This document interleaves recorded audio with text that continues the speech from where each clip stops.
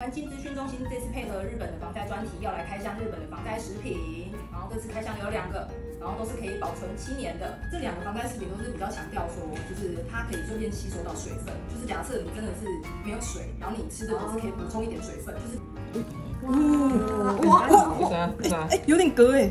哇，哇，那就先这样，先这样，先这样，先这样。先这样。好，那还行，好像我们多一点。没有没有没有没有哇，太多了吧？你会发生什么事？职场霸凌，其实看起来有点像肉粽。对我刚刚也这样觉得，有点像南部什么粽，柜之类。咖喱味其实没有闻起来的那么重。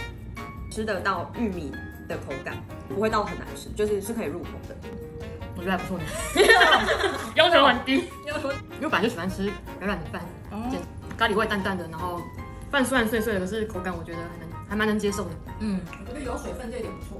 好，三二一，零六分，哎，我自己平常会买来吃。十分。你平常会买来吃吗？其实跟想象中的防晒食品已经算是好吃的了。接下来开箱第二包，哦哦，这个酱。哦，哇，它一项它卖相比咖喱好，蛮油的，可能比较利于保存。是好吃的。哎，我觉得这比咖喱炖饭好吃。很甜哎，真的很甜。嗯，然后我觉得油的口感蛮明显，好，三二一，八分。哇，